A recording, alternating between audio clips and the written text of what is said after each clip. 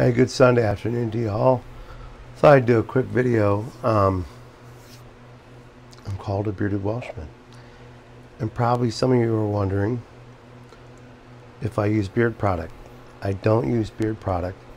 And here's why I don't use beard product. So when I first started growing my beard last year, I did a year, took a year to build to build up my beard. Then I shaved it down and now I'm almost I'll be at almost another year uh, in about three months. Be about a year. And I'm going to go longer and longer and longer. You can see how nice and shaped the beard is, right? So it's nice and soft.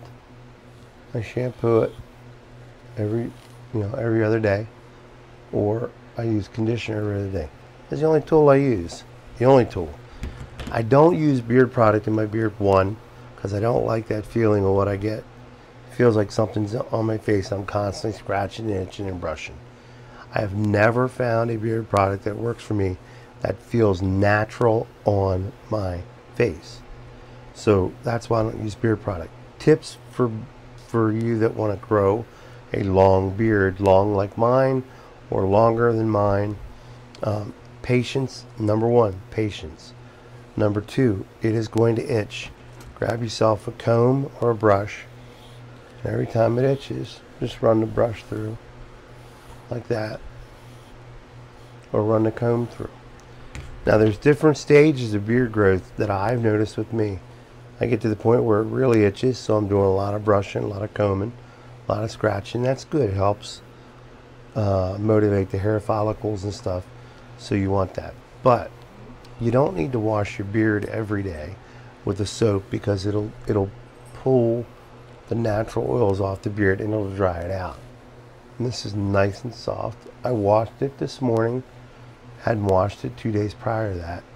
It lays really nice. I don't care what I've had product on my face, been out in the heat, been out in the cold, I've had issues. I always have to have a brush if I want to keep it looking neat. For me, it's not about keeping looking neat. It's about growing the beard and it looks pretty nice. So again, I'll, I'll show you from the side. Sorry about that. How that looks and how nice that looks. in the full color beard. So we're in my makeshift shop. This is what I do. I repurpose furniture on the side. It's what I do for a hobby. Got a couple other projects back here that I got to do um, that I'll be working on too. So um, this is about done. It's almost done. I got to get the hardware for it. Fix the uh, drawer slides and put new ones in it. It's good, good to go. It's solid wood. It's made dovetail. It's really made well, handmade. So, uh, but that's what I do. Anyhow, if you've all often wondered why I call myself the Bearded Welshman and do a lot of pipe videos, music, haven't talked much about beards. I used to use a beard straightener. I look back, I'm embarrassed I even used it. I've tried beard butters, I've tried beard balms, I've tried oils, and it always feels like something's there and I'm constantly like scratching and itching and brushing. It just doesn't feel natural. Here's what I say about beard products. If you want to wear beard products and they work well for you, great. If they don't work for you, you don't need beard, beard products to help grow your beard. It's how you eat, it's the genetics, and it's patience. Number one is patience you have to have patience. Now on occasion I'll come down and I'll trim along the side here.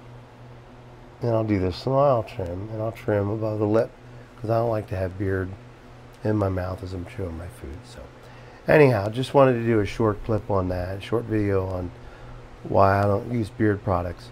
Hey, you know, if you want to send me beard products to try and you're watching this, that's fine. I'm willing to try them out. Um, and I have no problem with that but I'll give an honest review. And if I don't like it, I don't like it. And I'll be honest about it, and I'll tell you why I don't like it. But if it works well, and I'll tell you I'll use it, and I'll use it again. But that's what I, I do. I just, every other day is when I wash the beard. So you want to get that beard nice, keep it nice and soft. Don't wash it every day. You will dry it out, and it'll have these split ends, and it'll look scraggly. It doesn't look good. It's not good to wash your beard every, you know, every day. And then use conditioner instead of uh, regular shampoo. There's beard washes out there that have like a conditioner in them. Um, that's the only products I use for beard.